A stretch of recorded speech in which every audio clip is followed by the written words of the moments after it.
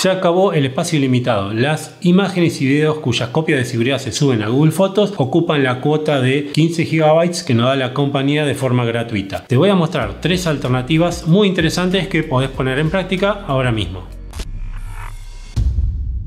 Las nuevas imágenes y videos que se suben a Google Fotos a partir del 1 de junio de 2021 dejan de ser ilimitadas y ocupan esa cuota de 15 GB de almacenamiento que nos da la compañía sin costo. Una vez superado ese espacio de almacenamiento gratuito, el usuario puede adquirir el servicio que brindan ellos de distintas capacidades llamado Google One. Son planes que van desde los 2 dólares hasta los 10 dólares y un espacio de almacenamiento que va desde los 100 gigabytes hasta los 2 terabytes. No está mal, pero si no querés suscribirte al servicio de Google One, bueno, llegaste al video correcto porque te voy a contar tres alternativas que son dos opciones en la nube. La última, la más completa que te voy a dar. Espero que te quedes hasta el final del video porque son tres opciones muy interesantes. Y bueno, vas a tener un abanico en el cual puedas elegir es lo que más te conviene según tus necesidades. Como te decía, hay un montón de servicios que ofrecen este almacenamiento en la nube de imágenes y videos. Las que dejo de lado son muy buenas, no quiere decir que sean malas, son por ejemplo Dropbox Media, Mediafire, bueno, para que la tengas en cuenta, pero la dejé de lado porque ofrecen capacidades que van de los 2 hasta los 10 GB,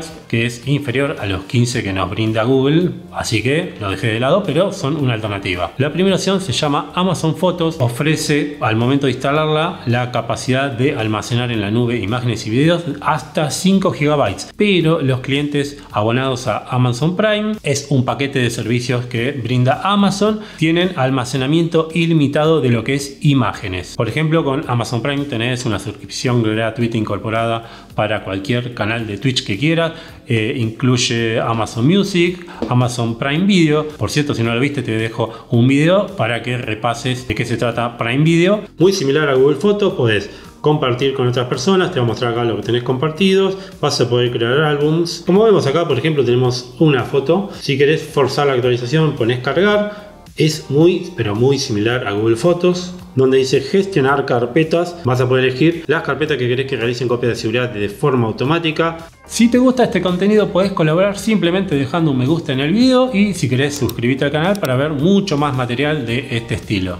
La segunda opción se llama Terabox. Tenés 1024 GB de almacenamiento para tus imágenes y video en comparación con los 15 GB que te da Google Fotos. Terabox antes se llamaba Dubox no hubo un problema en la compañía, sino que simplemente decidieron cambiar el nombre, eh, hicieron una encuesta en la comunidad y la gente eligió en su mayoría que se llame Terabox, más que nada para que de manera simple sepas que ofrecen un tera de almacenamiento. Tenemos álbum, donde puedes crear álbumes de fotos y si querés de forma manual, en la parte de arriba tiene un signo más en el cual presionás y puedes subir fotos, videos, puedes subir música o cualquier un documento, cualquier otro tipo de archivo, no solamente imágenes y videos para que tengas en cuenta. Vas a poder elegir qué carpetas querés que realicen copia de seguridad y cuáles carpetas no. La última alternativa que es la que me parece más interesante, tal vez un poquito más compleja de llevar a cabo, pero puede llegar a ser la opción más confiable o más segura por lo menos, es la de tener una nube propia en una computadora nuestra. ¿Qué decir nube propia, simplemente que almacenás el resguardo de información en un equipo que tengamos en nuestra casa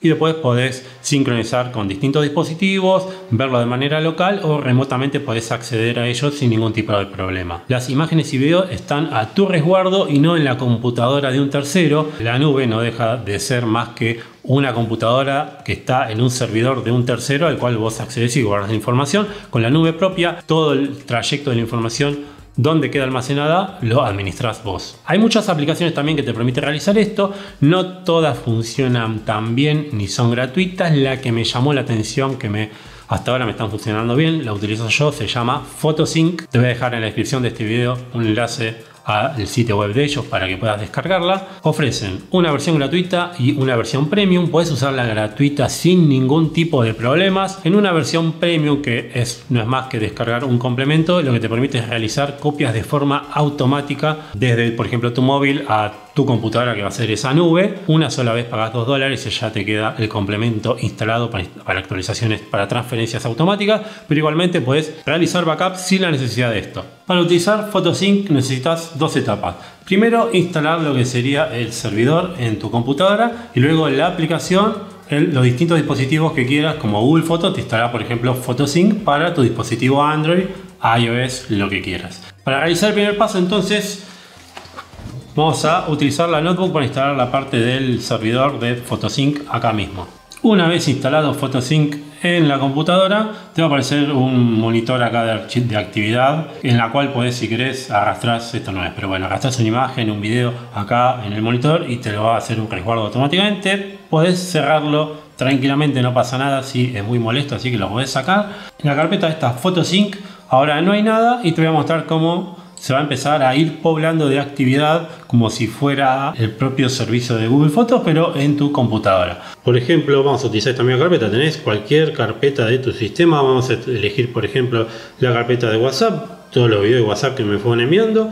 Simplemente presionas en sincronizar, que lo envíe a la computadora. ¿Qué computadora lo quiero que lo envíe a la computadora Acer, que es esta que está ahí atrás? Elegís la Acer, comienza a transferir los archivos y es muy rápido, esto se hace de manera interna, no estoy saliendo a internet, así que vas a verlo reflejado ahora mismo en la computadora. Volviendo a la computadora, vamos a ver que en la carpeta imágenes PhotoSync hay una carpeta que creo se llama Motorola Moto G7 que está identificando a este dispositivo porque vos puedes tener muchos equipos, 3-4 teléfonos que estén enviando contenido a una sola computadora. Así que entramos a Moto G7 WhatsApp video, que es lo que sincronizamos, y vemos como automáticamente los videos se subieron y lo tenemos resguardados aquí en esta computadora y luego podemos acceder desde, obviamente, el mismo dispositivo el cual ha subido, puedes instalar Photosync en otros dispositivos y ver estos archivos. Otra cosa que te permite hacer, por ejemplo, es no solo subir a computadora, sino subir a otro teléfono, otra tablet, puedes subirlo a un FTP, eh, a una red Samba, a Dropbox, a WebDAV, tiene distintas opciones. Puedes subir a Google Drive, fotos, eh, Box, OneDrive. Como te decía, sí puede ser un poquito más compleja de utilizar que los otros dos servicios, pero una vez que tenés todo correctamente configurado te va a funcionar perfecto y puede llegar a ser la manera más segura en cuanto a la privacidad de datos. Listo, ¿te sirvió? Suscríbete si todavía no lo hiciste y nos estamos viendo en el próximo video. Chao.